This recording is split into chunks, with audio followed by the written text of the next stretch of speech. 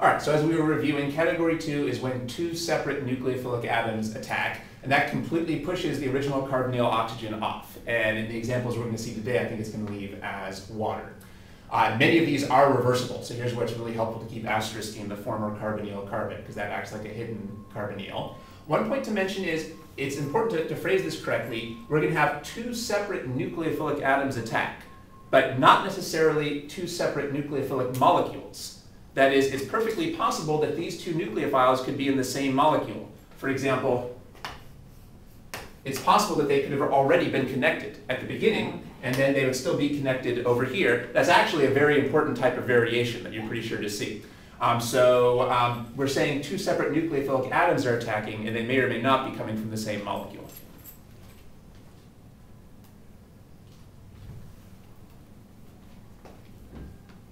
We saw that how that's how you can uh, protect uh.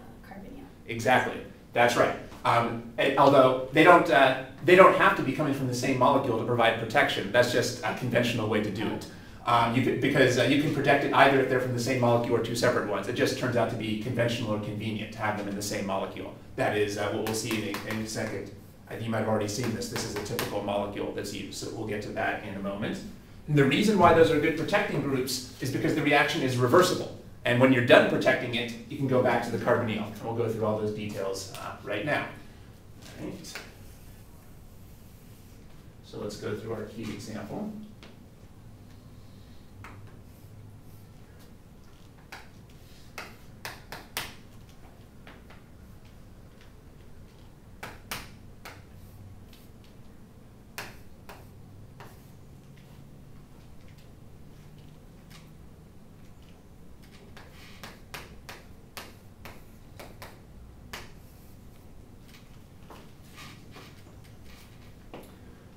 Okay.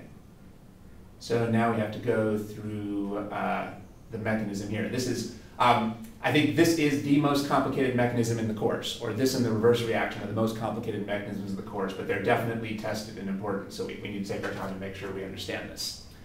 All right, so uh, any uh, guesses about what might happen first year? Um, I was first going to say protonation. Sounds good. How would that work? Uh, probably this O would steal it from this H. That's right. Now we know that this is a strong acid, and we learned last term that if you start with a strong acid, it's got to start by giving its proton to somebody. Um, some people might have thought it would protonate this oxygen, and maybe sometimes it will, but that doesn't give us the interesting product. The interesting product comes from focusing on when the carbonyl oxygen gets protonated. I thought of that, but then right.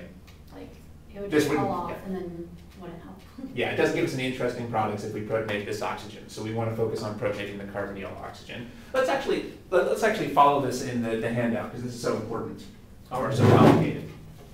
So here we are on category two, two nucleophilic attacks by separate atoms. We're going to go through the acid catal. Uh, oh, well, it's got to be acid catalyzed. Um, the nucleophile here is ROH, which is an alcohol. Um, and notice that we're going to go through both the forward reaction in the left-hand colum and the reverse reaction in the right-hand column. So we're still on page one of the handout, category two at the bottom. So uh, our starting material is an aldehyde ketone. Um, actually, before we go through that, let's let's separate here. What, what are the main things that have to happen? There's three main things that have to happen.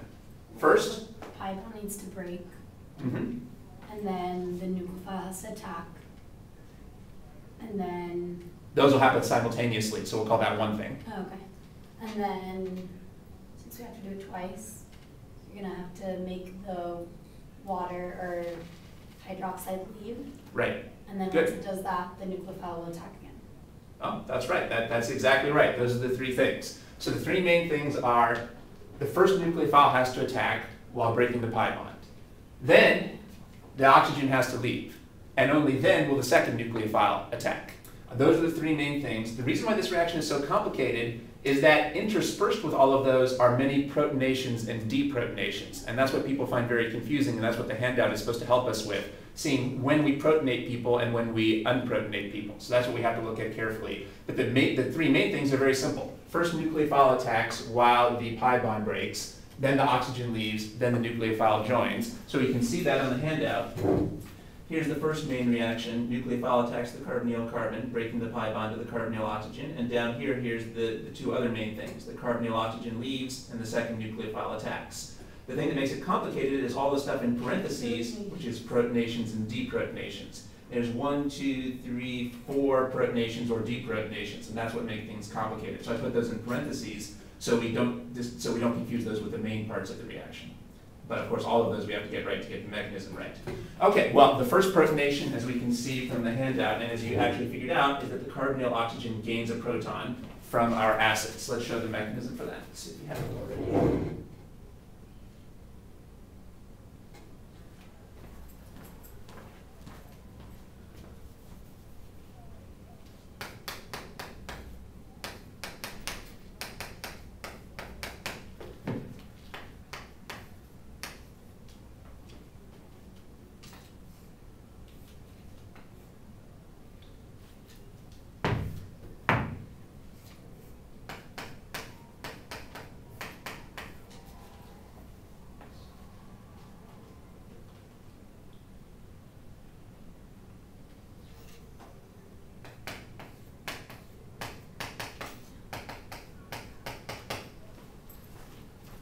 Uh, we should have started a fresh page. This is gonna, we're gonna run. You can re- rewrite these. Yeah, I'm gonna rewrite. Okay.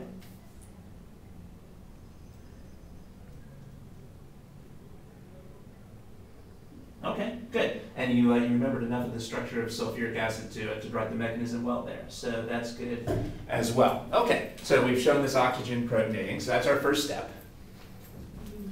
All right, now going back to the handout, now that we've done the protonation, we're ready for our first main step, which is when the nucleophile attacks the carbonyl carbon, breaking the pi bond. Now, in the handout, I just keep saying Nu for nucleophile, and it's our job to substitute who the nucleophilic atom is. Who is the nucleophilic atom in this problem? Neutral oxygen. Yeah, the alcohol oxygen. So now we're going to use that to attack. So now we can show that part of the mechanism.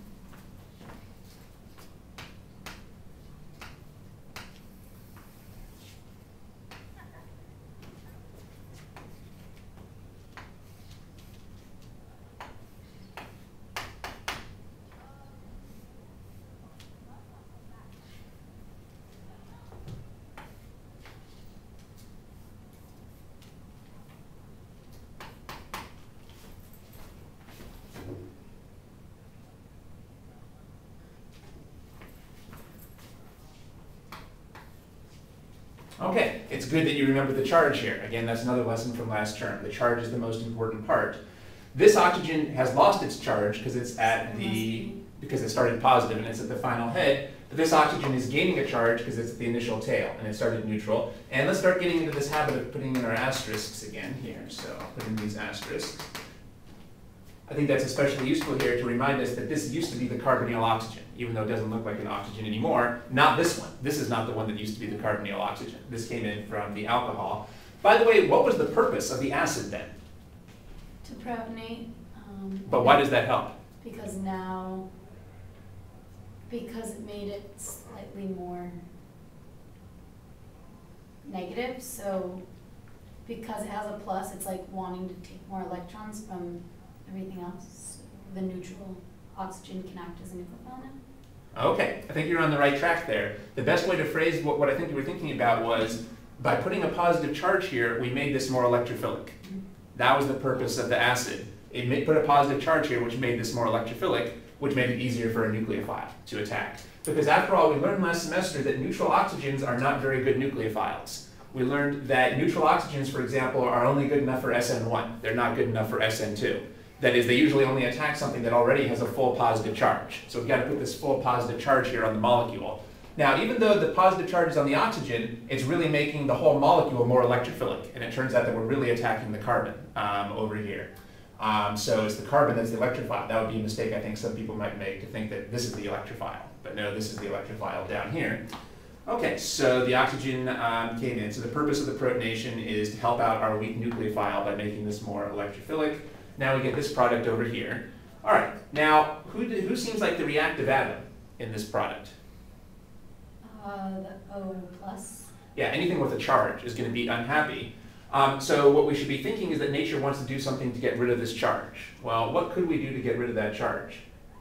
Uh, deprotonation? Yeah, we could lose the proton. We can see that's the next step in the handout in parentheses again at the bottom of page one. The original nucleophilic atom is going to deprotonate. Um, so now we're going to uh, lose this proton.